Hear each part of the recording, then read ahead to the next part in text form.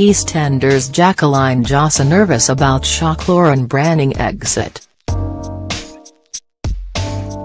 As the war between Abi and Lauren heats up, fans are guaranteed an explosive exit for the sisters as they leave the EastEnders cast at the end of this year. But 25-year-old Jacqueline Jossa is reportedly worried to be leaving the show, after playing soap vixen Lauren for over seven years. The actress, who was married to ex-TOWIE star Dan Osborne, is thought to have told friends that she's worried about her exit from Albert Square and securing further acting opportunities. A source told Closer magazine, it came as a big shock to Jacqueline that she'd be leaving EastEnders. She's expected to be gone by the end of the year.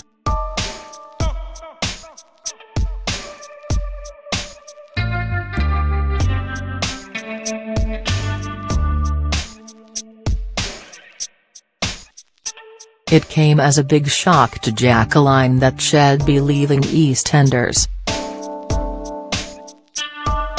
She's expected to be gone by the end of the year.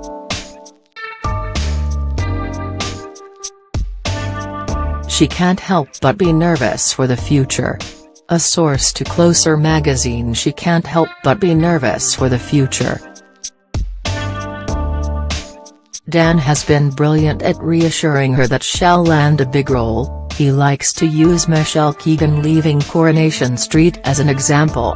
Husband Dan, who shares preschooler daughter Ella with Jacqueline, has previously expressed his support for his wife, tweeting a day after news of the actress leaving, the show will miss these two characters and you are so talented babe and am proud of you.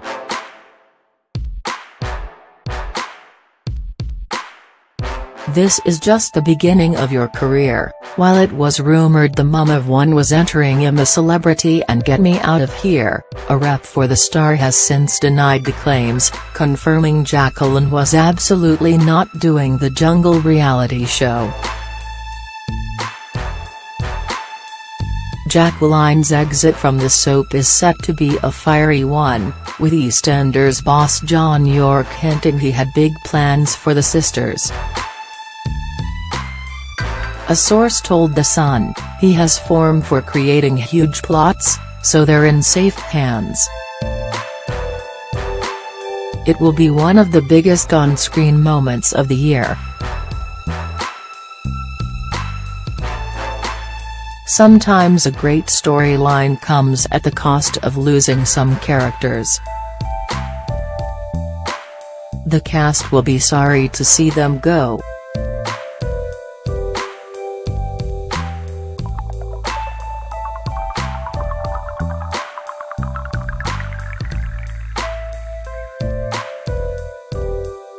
Jacqueline's fear about her Walford exit comes only a few days after Samantha Womack revealed she was devastated about being axed from the EastEnders cast. In an interview to be televised later this week, the 44-year-old, who played Ronnie Mitchell said, leaving, was really hard, having to kill someone that I loved. I was devastated because I wasn't planning to leave. But as her and sister Roxy Mitchell, Rita Simons, drowned in tragic scenes that aired on New Year's Eve, will Abi and Lauren's exit be as dramatic? EastEnders airs tomorrow night at 7.30 pm on BBC One.